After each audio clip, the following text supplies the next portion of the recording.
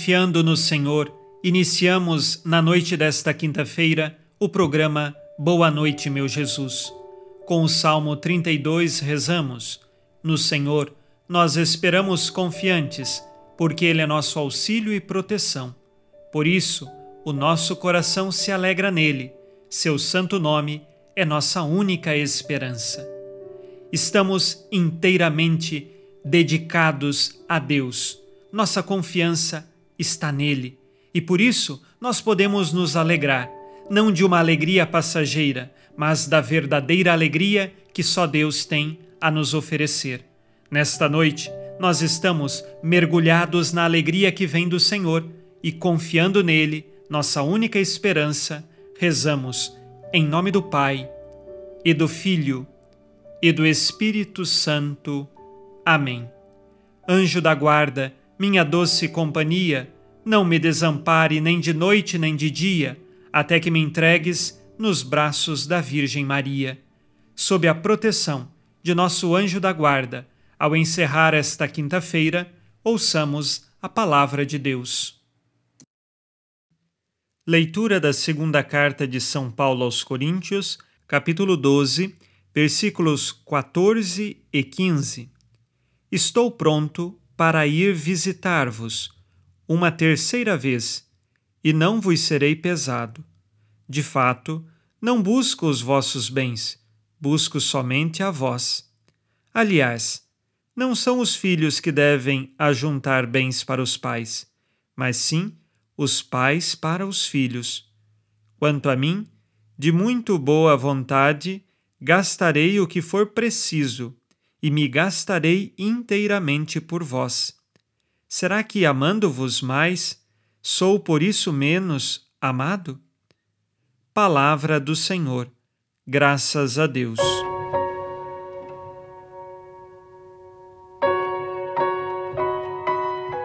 Neste trecho, São Paulo anuncia a sua terceira visita à comunidade dos Coríntios. A primeira visita foi de em torno de 18 meses uma visita profunda e de grandes alegrias.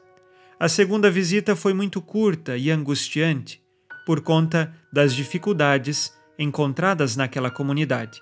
E agora São Paulo se apresenta pronto para visitá-los a terceira vez. E aqui São Paulo afirma que ele é como um pai espiritual para toda aquela comunidade. Quando ele diz que não quer ser preocupação, não quer ser pesado para a comunidade, significa então que ele vai se sustentar. Como o pai dá o sustento aos filhos, assim o será ali na comunidade dos coríntios. São Paulo também recorda que de seu coração ele não está indo lá por causa de bens materiais, ele está indo lá por vocação. São Paulo está indo até a comunidade exatamente porque quer anunciar Jesus Cristo, porque ama a Jesus Cristo e toda a motivação do seu ministério é a pessoa de Cristo. Assim também deve ser a nossa vida. Devemos motivar dia após dia de nossa história fundamentados em Jesus e não nos interesses humanos. Façamos neste momento nosso exame de consciência. Disse Jesus: Sede perfeitos como vosso Pai Celeste é perfeito. Vivo sinceramente as virtudes cristãs? Estou apegado a bens materiais de forma que eles me escravizem?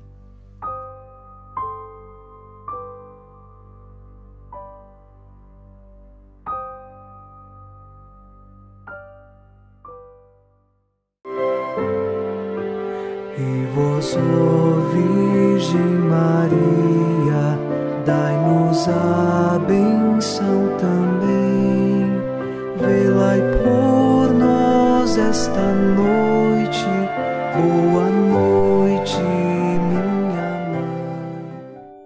Nesta quinta-feira, unidos na paz e inspirados na promessa de Nossa Senhora, a Santa Matilde, rezemos as três Ave-Marias, pedindo a perseverança final até o último dia de nossas vidas e que Maria, nossa mãe, nos livre de cair em pecado mortal.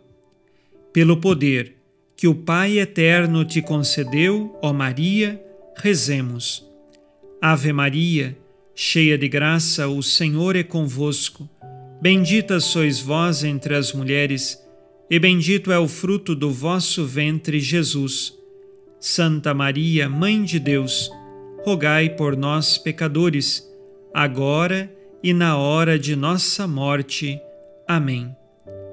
Pela sabedoria que Deus Filho te concedeu, rezemos. Ave Maria, cheia de graça, o Senhor é convosco. Bendita sois vós entre as mulheres, e bendito é o fruto do vosso ventre, Jesus. Santa Maria, Mãe de Deus, rogai por nós, pecadores, agora e na hora de nossa morte. Amém.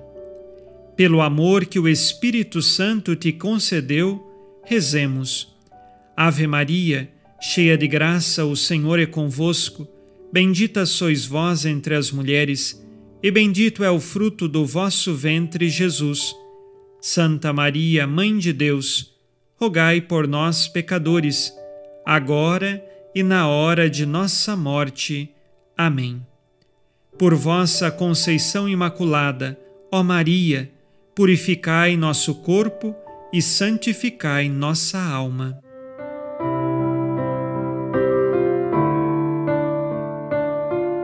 Oremos.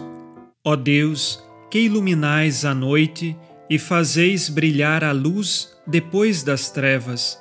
Concedei-nos passar esta noite livres do tentador e, ao raiar um novo dia, dar-vos graças em vossa presença. Isto vos pedimos por Cristo nosso Senhor. Amém. O Senhor esteja convosco, Ele está no meio de nós. A nossa proteção está no nome do Senhor que fez o céu e a terra.